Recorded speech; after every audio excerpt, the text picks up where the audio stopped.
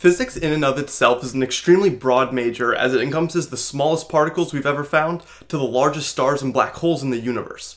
There could be a dozen people watching this who all go into physics and end up getting completely different careers in different fields of physics and have very little knowledge of what the others are doing. You can get into subfields or branches such as particle physics, plasma physics, astrophysics, medical physics, geophysics, quantum physics, and plenty more. For this video, we're going to slow it down and just cover the physics major. Whether you want to go into astrophysics or medical physics, most people will start as basic physics majors, gain all the foundations, and get more specialized in grad school.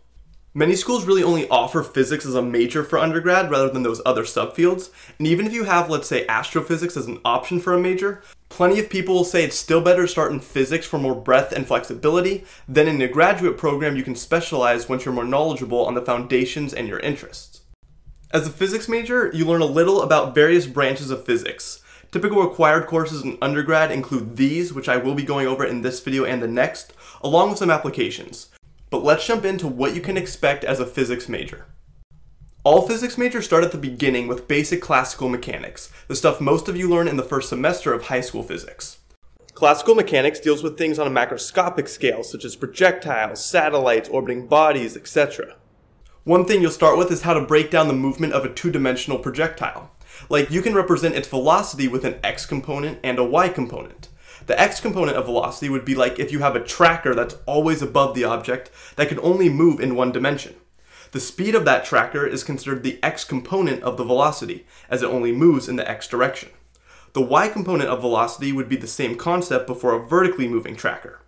The speed of that vertically moving tracker changes because gravity acts in that direction. Since gravity does not act sideways, this x component of velocity will be the same over the entire path. And thus you can really analyze two-dimensional motion in one dimension at a time, which you learn equations for. Then when you study forces and put like a block on an incline, even though gravity acts straight down, you'll have the tools to represent the component down the incline that will cause motion. Then one extremely important concept you learn about is energy. There are multiple forms of energy, but the two I'm going to use for demonstration are kinetic and potential energy. If you lift a ball into the air, you give it potential energy, which is a function of its height. The higher you lift it, the more potential energy it has. If you release the ball, it gains speed and in turn kinetic energy, which is a function of the velocity. Well, actually the velocity squared. The super important thing to note is that these two quantities are conserved, and we can quantify them. Imagine we have two cups, one for potential energy and the other for kinetic energy. When we lift the ball into the air, we give it potential energy, which let's just say is 10 units. Now once we release it, it starts to lose height, but in turn gains speed. That amount of potential energy lost is exactly how much kinetic energy is gained. The total amount in the cups never changes. If we freeze time and look at the system and see that the ball has lost 40% of its height, let's say, that means it lost 4 units of potential energy from the initial 10, which means the kinetic energy gained 4 units, because again, the total has to equal 10 always. Because kinetic energy is quantifiable, we can set it equal to velocity squared, which also actually has a 1 half times mass in it, and then we can solve for the velocity of the ball. The cool thing about this, at least for our scenario, is the path of the object does not matter. Had there been some weird slide at the same initial height and the ball dropped the same distance, the velocity of the ball would be the exact same and the equations would not change at all. That is assuming the slide was frictionless or is very, very smooth. Now, in high school physics, you'll also learn about the basics of electricity, magnetism, some thermodynamics, optics, and a few more topics depending on the class you take. But now let's look at some college level classes and what you'll encounter, the first one being classical mechanics. Yes, this is the same field we just went over, but in college you take another class on it that takes it to a whole new level of difficulty. To repeat, this field is about projectiles, spacecrafts, orbiting planets, and even galaxies. And you won't talk about the quantum world like particles, atoms, or anything like that. Two of the biggest concepts you learn in this class are Lagrange's and Hamilton's equations, which will give you a much more powerful way to represent complex systems. While these two concepts are rather advanced to understand mathematically, we can definitely grasp a little of how and why they're used, and I'll start with this question. An object is going to start at point A and is going to end at point B by sliding down some incline. You are to make the slide or curve that will take the object from point A to point B. And yes, the slide will be frictionless. You can make any shape you want. It could be a straight slide, one with a big drop off to begin, or anything else that ends at point B. The question is, what curve will get the object from point A to point B in the shortest amount of time if the only force causing motion is gravity? For anyone thinking it will be a straight line, that is actually incorrect. But we'll come back to this in a minute. Now, in Calculus 1, we all learn how to find the relative maximum or minimum values on a curve. Ones where the y values are smaller or larger than all points near it. So given some complicated polynomial, you can use calculus to find exactly where these points are, assuming you don't have the graph like we do here, only the equation. You can think of, let's say, this minimum as the point where if you move slightly in any direction along the curve, the y value only goes up. So there's some point x you are looking for that spits out a minimum y value associated with it compared to other points around it. Take note of this. You're finding a coordinate x that spits out a minimum y value, all of a single point. Now let's go back to our example. If we have some slide that connects A and B, there will be a time associated with it, the time it takes for the object to slide down. A different shaped curve or slide will have a different number or amount of time it takes to slide down. Yes, two curves can definitely have the same time, but that's not of importance here. Now there are infinitely many curves that connect points A and B, all with some time associated with it. Our goal is to find the curve that minimizes this time. It's kind of like what we learned in calculus, but instead of having a point x that yields a minimum point y, we have a curve that yields a minimum value, in this case time. Doing this involves something called calculus of variations. Nothing you need to know now, but while we can use calculus to find points of maximum values, we need something more advanced to solve for a curve that optimizes some value. To those who have taken calculus, this involves a differential equation known as the Euler-Lagrange equation. If you solve the equation, which I'm not going to go over, you'll find the path that minimizes time is a cycloid. The same shape you get if you were to trace out the path that a point at the end of a bike tire travels. So take that shape, cut out all unnecessary parts, turn it upside down, and send an object down a slide of that shape, and it will be any other path every single time. And just like our calculus example of slightly moving in one direction from your minimum, if you slightly alter that optimum cycloid curve, regardless of how you do it, the time associated with it gets bigger, hence it's a minimum. Okay, now let's say you throw a ball through the air and we look at just some portion of its path. Just for the sake of throwing in numbers, let's say it took 3 seconds to travel this distance. Why did the object take this path? Why did not travel in a straight line or some weird curve? Well, yes, because gravity is acting on the object, causing it to arc down and take the path that it did. That's totally true, but there's another way to look at it. There is something more special about this curve. If we break the laws of physics and think about three scenarios, each where the ball starts at point A and takes three seconds to get to point B, there is something minimized about this curve that it actually takes. It's not time, because we said they all take three seconds, and it's definitely not distance, as the straight line is the shortest. It's something not remotely as obvious. If you look at any point along the path, I think we can all agree that the ball is moving and it has some height since it's not on the ground. That means it has kinetic energy and potential energy, and at every point it has a slightly different value for each of these as it travels through the air. Now, if you subtract the potential from the kinetic energy at every point and add all those values up, that is what is minimized for the curve it actually travels. So take the kinetic minus potential here, then here, then here, and keep going, and add them up. If you did that for one of these other curves, doing the same thing at every point, you'd get a bigger value. Now this is slightly wrong still because I'm not showing the curve against time, but hopefully you get the idea. And this right here allows us to analyze complicated systems because we can look at the entire curve something travels and use some higher level math to say of every path it could possibly travel, I know which it will be because it's going to minimize that sum of kinetic minus potential energy and you'll have the tools to find those optimum curves rather than just points like in calculus. When looking at a double pendulum, you don't have to look at how gravity affects it at every single point, which would be complicated.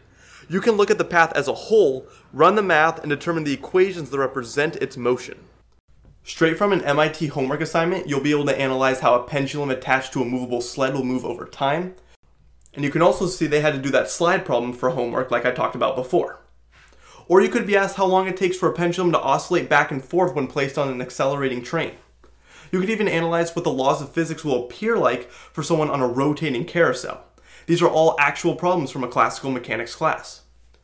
Then orbiting bodies, coupled oscillators, motion of rigid bodies, fluid dynamics, and more are all things you gain insight in from learning classical mechanics.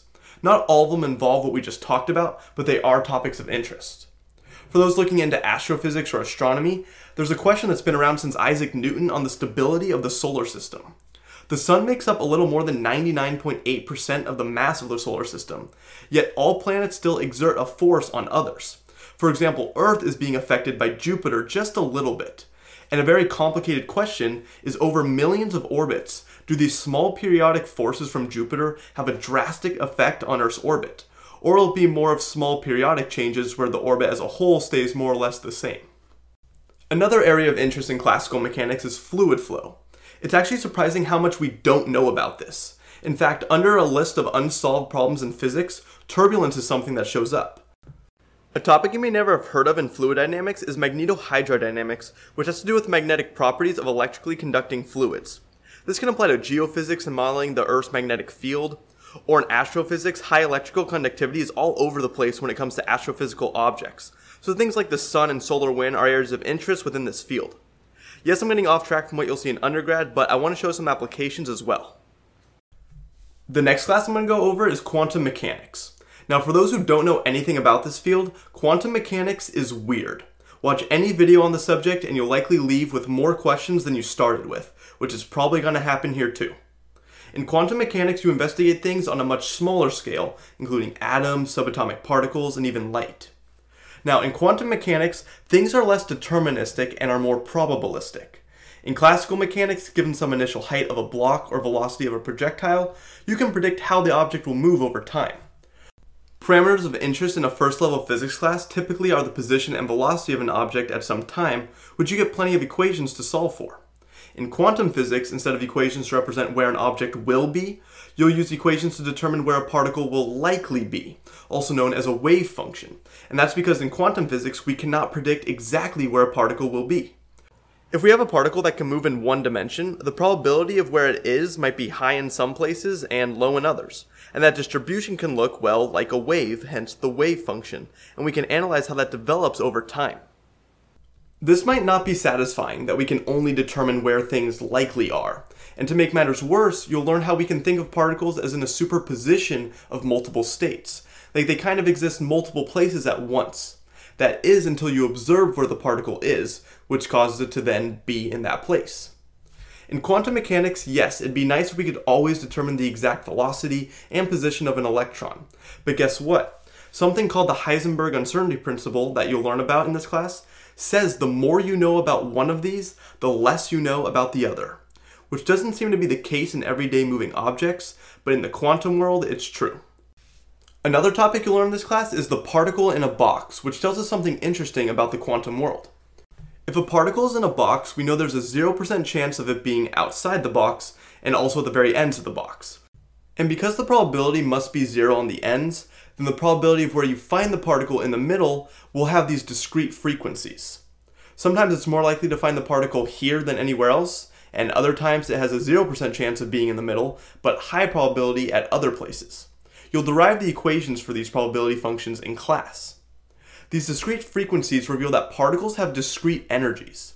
In classical physics, you can throw a ball at any speed, or a satellite can orbit Earth at really any radius. However, electrons can only jump between and assume certain energies. If we just look at some quantum physics homework problems, you'll see how probabilistic it is. Like, what is the probability of measuring some energy? Sketch the probability distribution. What's the probability you'll find the particle in the left half of the well, and so on. I mean, not all problems are like this, I just picked these specific ones, but you get the idea. And for anyone in high school who has seen some probability, well, the equations for this class are a bit tougher, but no, it's nothing you need to know now. Now, quantum mechanics has huge applications and has made possible many technologies that we really take for granted today. As a lab for this class, you might look at the emission spectrum of certain gases, We run a voltage across a gas and excite the electrons. When this happens, electrons can jump down one or more of those discrete energy levels and in turn emit a photon or light. Since those energy levels are distinct, the photon released will have a distinct energy, which means a specific color, assuming it's visible. Since different gases contain different energy levels, they all emit distinct colors. So just by looking at the color coming off, we can determine the element. which, as an example, helps us determine what stars are made of that are millions of light years away. Then, a ton of modern electronic equipment is designed using quantum physics. The laser, MRI, or magnetic resonance imaging, the transistor, and more are all a product of the study of quantum mechanics which means basically the entire field of electronics, your computer, lots of communication devices, and more wouldn't be here without it.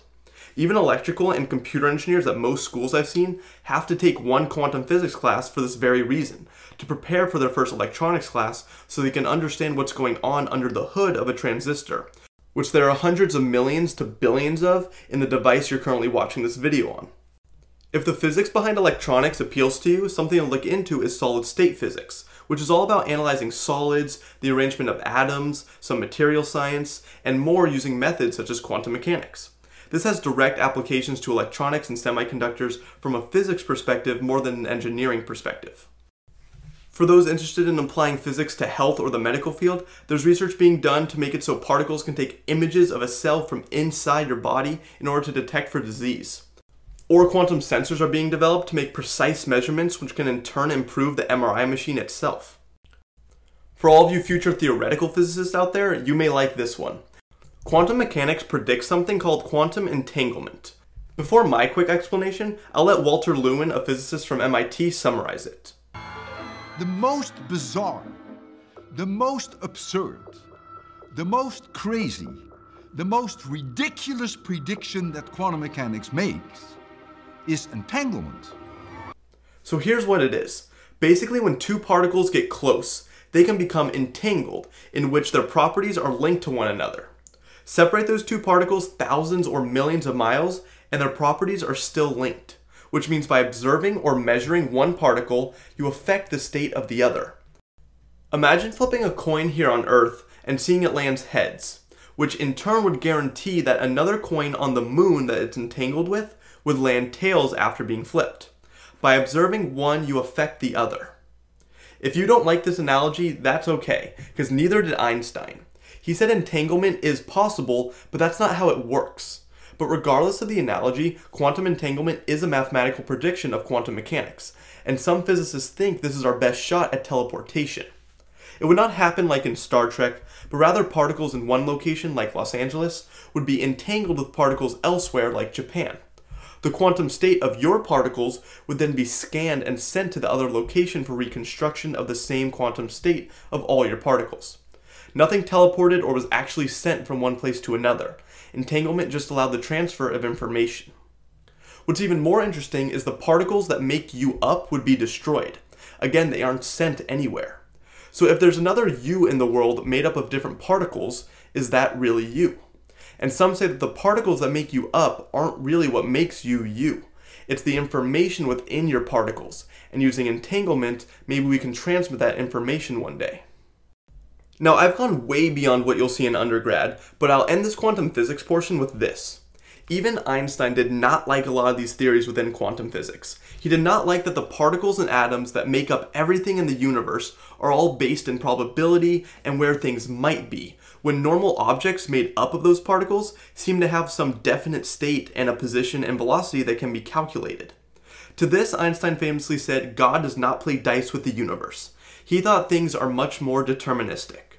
And with that said, I'm going to continue in the part 2 video where I'll cover these topics. I apologize for the length of these physics major videos, but so many of the topics interested me that I had to put them in. I'll talk more about the major itself and all that in the next one though. If you enjoyed, of course, leave a like and subscribe, leave any comments you have below, and I'll see you all in part two.